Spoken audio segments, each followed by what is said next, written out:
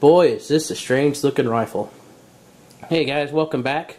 Today, we're going to cover uh, a rather more obscure firearm out there that's been uh, gaining popularity recently.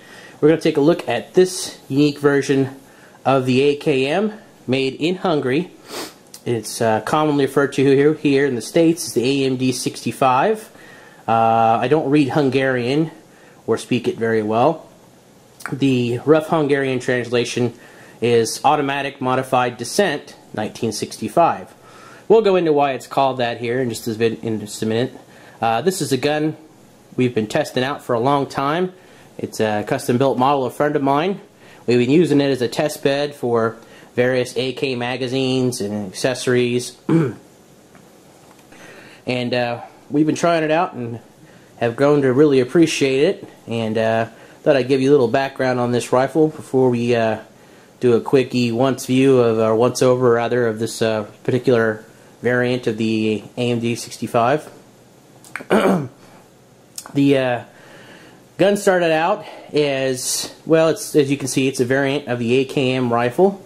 The uh, front handguard, however, is made by uh, a perforated sheet metal and it usually has a vertical foregrip uh, on the front end of it. We've changed that out. We'll get to that later. this is basically to help uh, control it during full automatic fire as this normally has a very short barrel on it. Uh, it was once really obscure. The AMD65 has seen a bit of a renaissance lately due to its service in Afghanistan. It's uh, popular among uh, the Afghan Free Afghan Army, Afghan Border Patrol, and uh, a lot of mercenaries and contractors have been using it. Uh, the the gun really to to cover the gun, you kind of have to go back into a bit of history. Uh, during the Second World War, Hungary was an ally of the Germans in World War II, and uh, there was some really heavy fighting in that area of the world.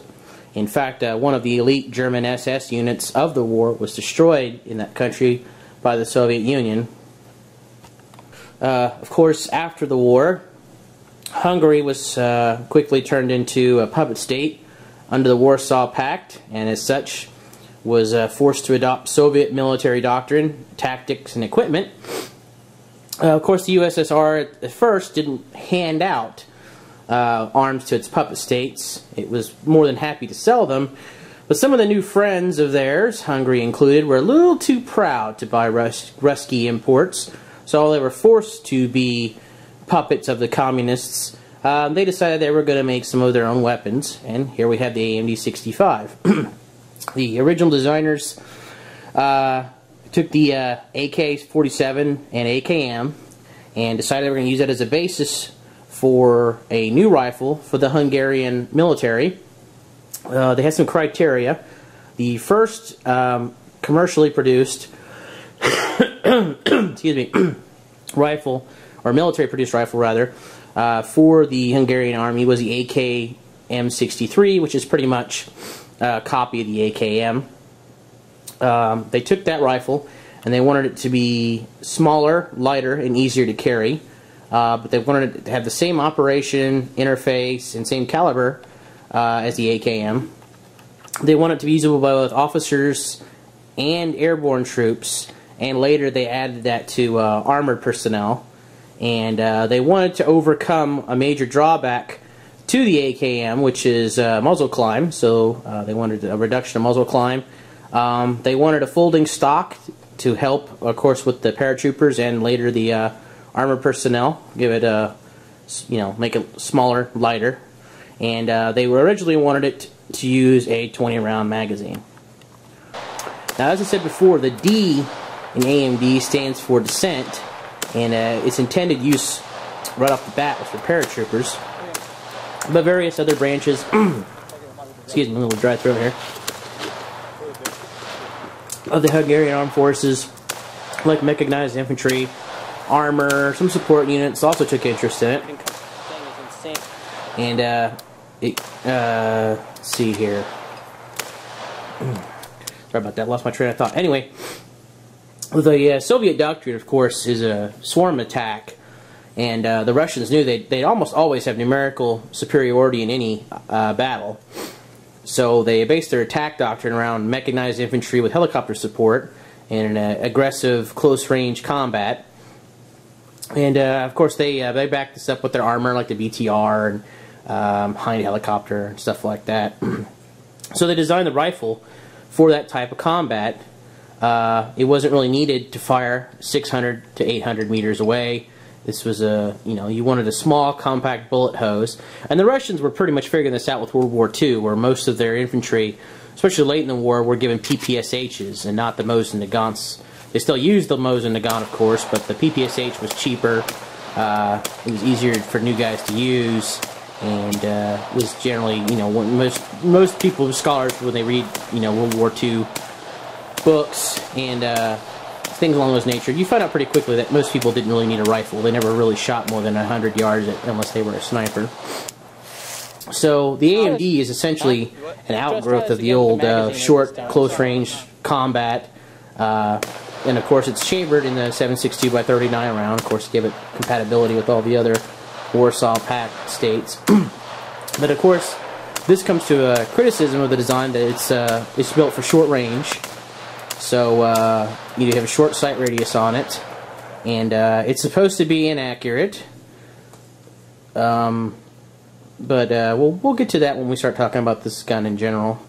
Um, but uh, as I was saying, that's pretty much the history behind it. Now, as to why they chose specifically this layout, um, I can't really find out. I've, I've done some research online, and, and uh, like I said, the only thing I could find out was what, that they basically wanted a vertical foregrip. This is all up to engineering, and a lot of those Cold War records are hard to find. I actually had problems even finding pictures of uh, original Hungarian army soldiers um, with these weapons. They, I could find a few of them with AKMs and AK-63 and AKM-63s, but not many with AMDs. But uh, hopefully, with the archives and the Eastern Bloc open up to Westerners, we'll uh, we'll get some more spiffy pictures from the other side of the Cold War.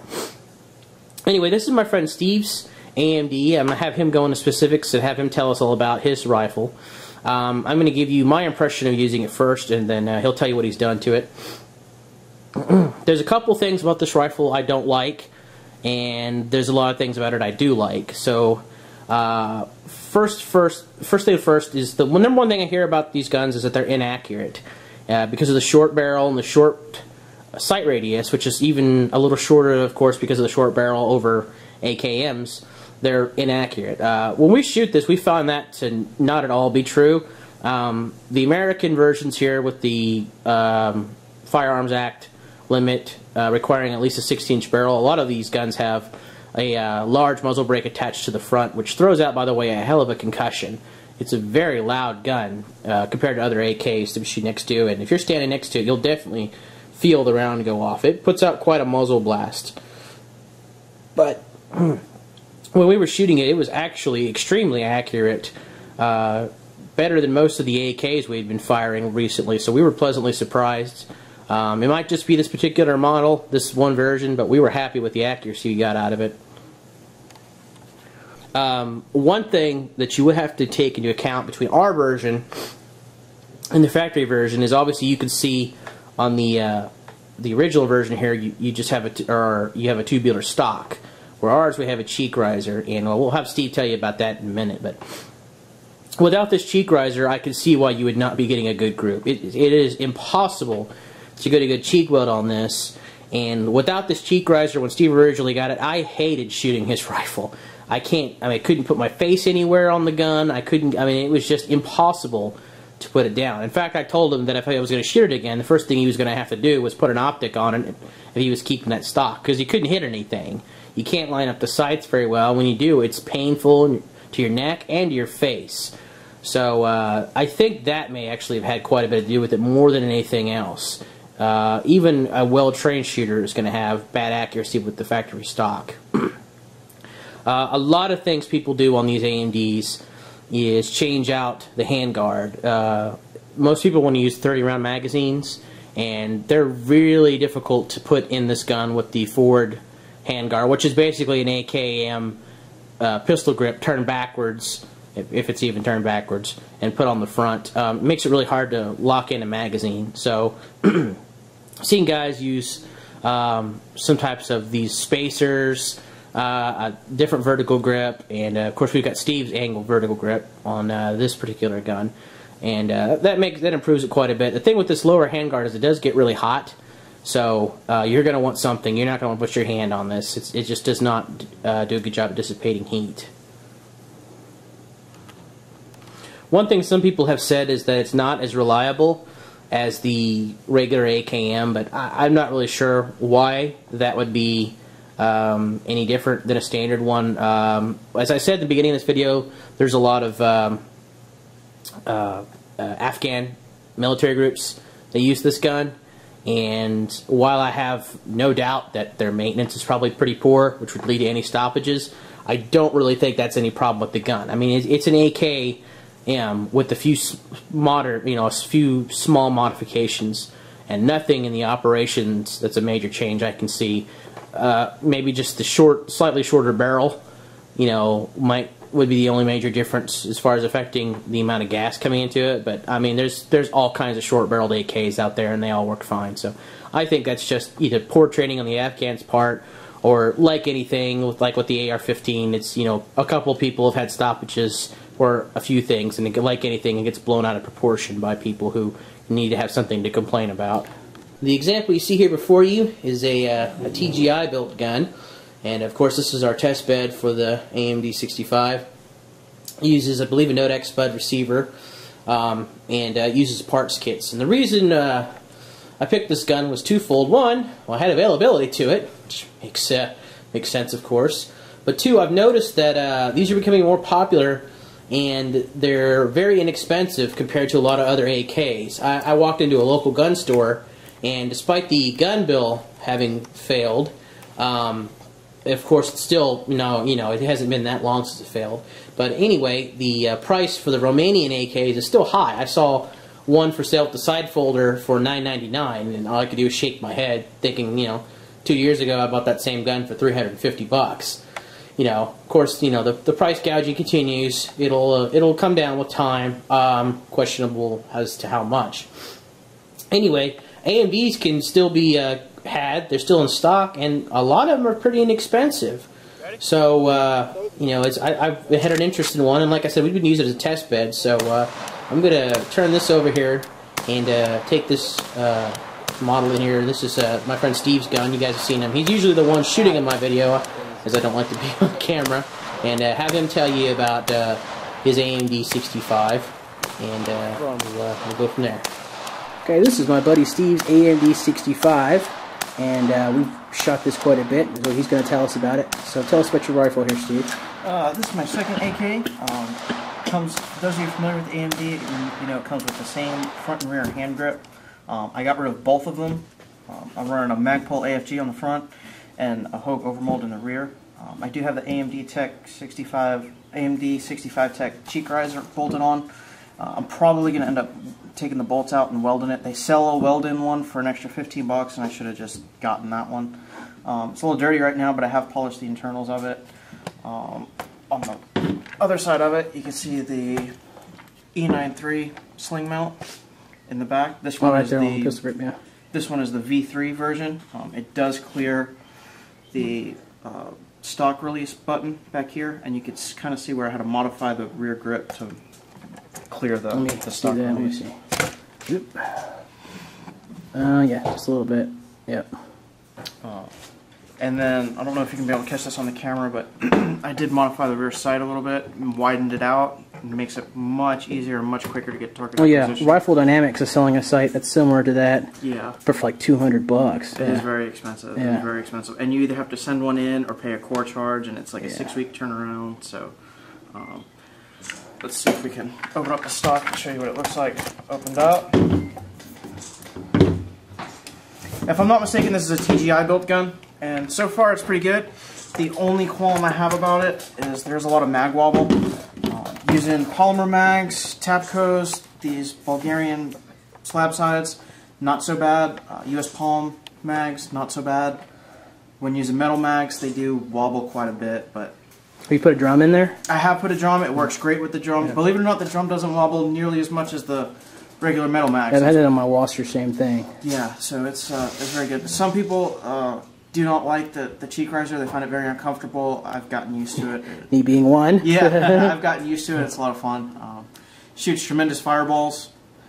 yeah, it's got a hell of a concussion and a decent fireball kind of. Yeah, Yeah, courtesy courtesy of this muzzle brake Yeah. down here at the end. I actually have another one on order from AMD 65 Tech. It's uh, it's just a three port, and it will no longer have this barrel extension, but it will still exceed. Is that welded? And This is Yeah. this is welded. Yes, you can see a little spot weld on the on Okay. the top there. But uh, the the next muzzle brake will look a little bit nicer, and the overall length will shrink a little bit, but it will still be over 16 inches. That's cool. So in our experience shooting it and running through various magazines in it, uh, we haven't had any problems with it. It's fed every time. It's fed steel mags, pro, uh, drums, polymer mags, uh, Tapcos, Bulgarians, US Palms, you name it, it's running. So it's been a very reliable gun. Um, if you're looking for an AK and uh, you want something maybe a little bit different, or if you've already got an AK and you want to add something to your collection, maybe want to give it a choice. Um, it's also very popular as an SBR. In fact, most people I've seen using it in uh, real combat, you know, uh, have the SBR, what we call the SBR version. Uh, I believe that's the factory configuration, of course.